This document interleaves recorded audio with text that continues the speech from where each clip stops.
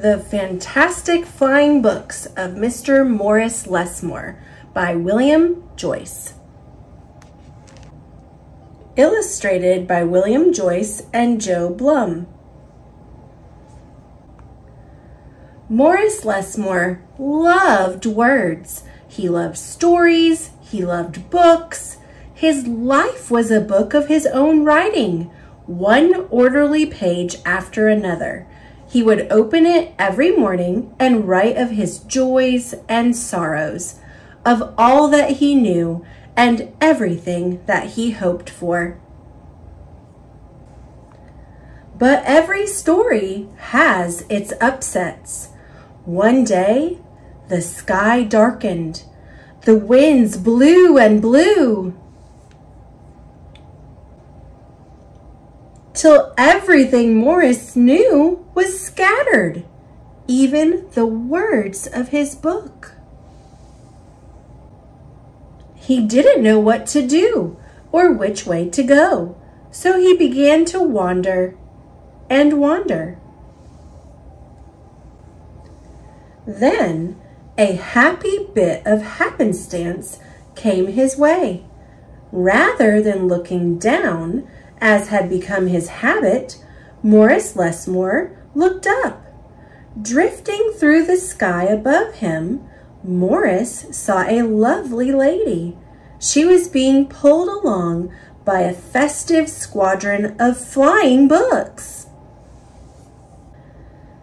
Morris wondered if his book could fly, but it couldn't it would only fall to the ground with a depressing thud. The flying lady knew Morris simply needed a good story, so she sent him her favorite.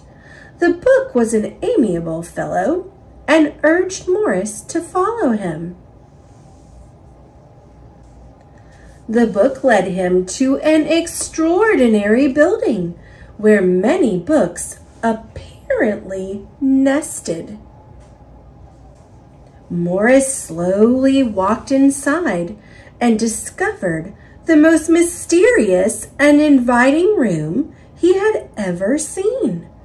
It was filled with the fluttering of countless pages, and Morris could hear the faint chatter of a thousand different stories, as if each book was whispering an invitation to adventure.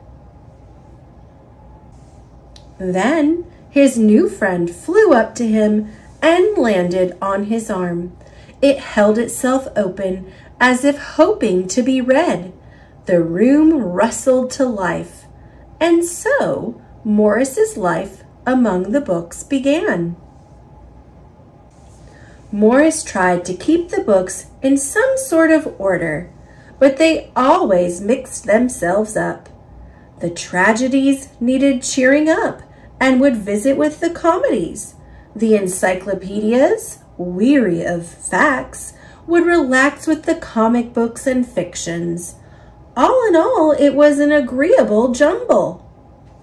Morris found great satisfaction in caring for the books, gently fixing those with fragile bindings and unfolding the dog-eared pages of others.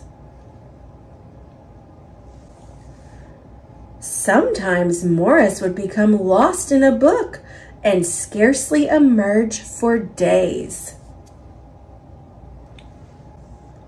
Morris liked to share the books with others. Sometimes it was a favorite that everyone loved, and other times he found a lonely little volume whose tale was seldom told. Everyone's story matters, said Morris and all the books agreed.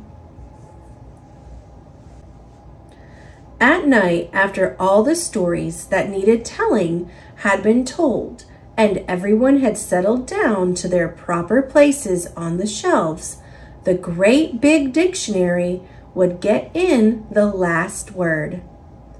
It was then that Morris Lessmore would once again write in his own book. He wrote of his joys and sorrows, of all that he knew and everything that he hoped for.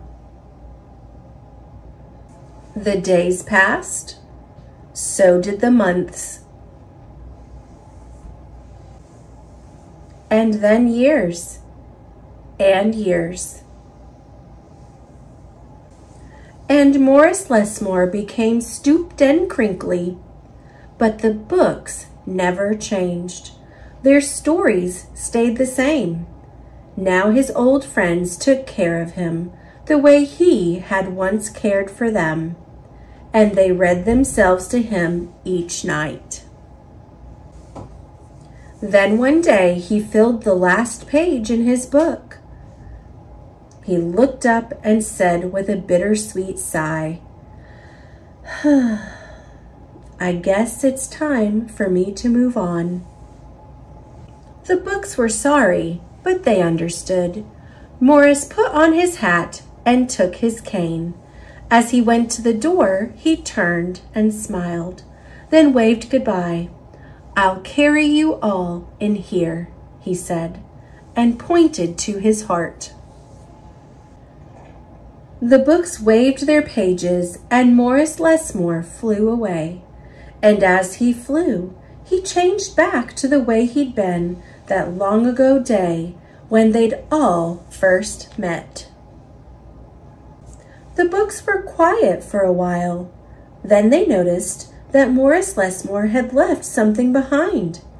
It's his book, said his old friend.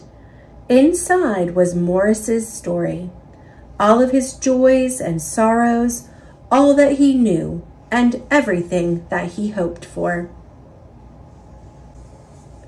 Then the books heard a small expectant sound. There, in the doorway, was a little girl. She looked around with wonder. Then something fantastic happened.